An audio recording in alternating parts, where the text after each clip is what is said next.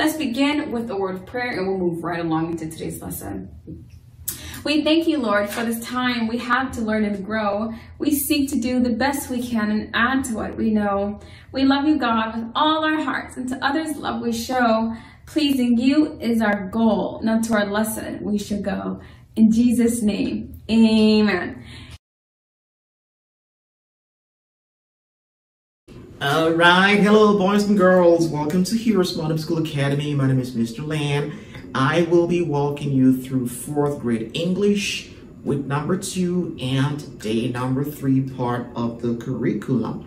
All right, so today's class, today's lesson is going to be about phonics and spelling, right? That's what we do on the third day of each week. All right, so we're going to be talking about orthography and spelling or phonics and spelling.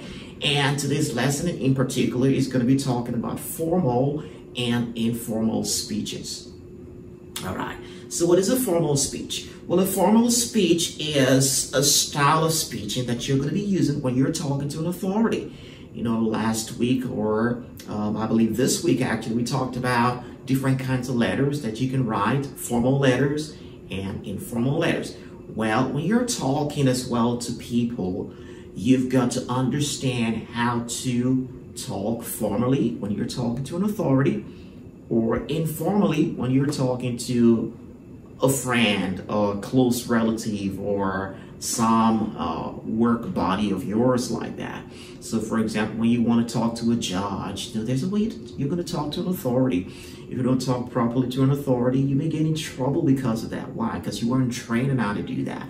That's the reason for this lesson. How do we do that? Watch with me.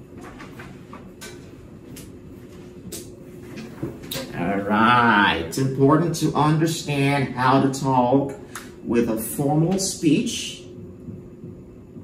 Okay, when you're talking to people who hold authority, police officers, your pastors, judges, or any other person who's higher than you, you gotta talk with a formal speech. Well, an example of a formal speech is going to be, Sir, could I ask a question? All right. That's a formal speech over there. So when you're in the courtroom, for example, you want to ask a question, you're going to say, well, my lord, may I ask a question? Well, that's a formal speech. Well, an informal speech talking to a friend or a close relative, you don't necessarily have to say sir or my lord. You're just going to say, well, I've got a question. Okay. That's how you're going to talk when you're talking to your friend. Hey, I got a question over there. Well, you don't say that to a judge. Or you're talking to the governor, you uh, get in front of the governor, you say, hey, I got a question. Well, that's going to be kind of rude, right? and lots of people are like that right now in our generation. And that's the reason they get into a lot of trouble. If you talk to an authority like that, guess what? He's going to get pissed off at you. So there's nothing else that you're going to do or say in his presence that's going to hold water anymore. Because he sees you as a very uncultured, undisciplined, uneducated, and the list goes on, on and on and on. Well, he doesn't have any culture. I'm going to deal with him. That's how they're going to be thinking about you. So formal speech is really important. Another example of a formal speech is you can say, uh, uh, may I, may I make this point, okay? So you want to talk to an authority, you can use the word may. May I ask for a favor? May I ask you please to do this for me? Well, that's talking in a formal speech style. Well, on the contrary, you can say to somebody that's a, a close friend to you, you can say, well, tell me what to do. Okay, tell me what.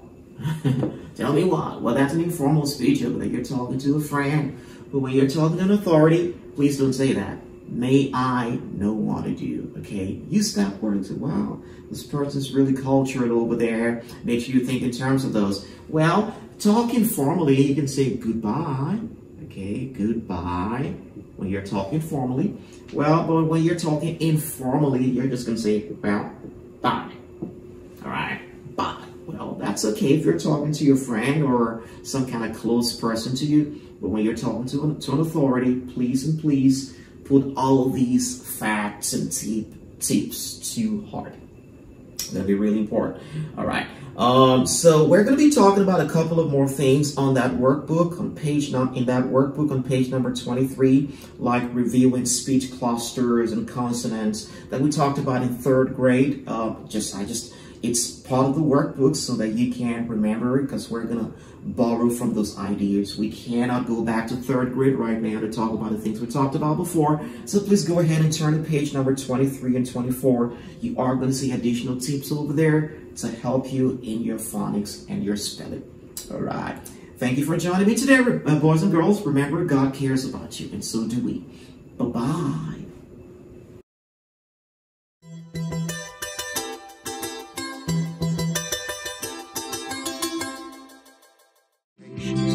I'll be your hero's buddy, and as you study with Heroes born, I will be your friend.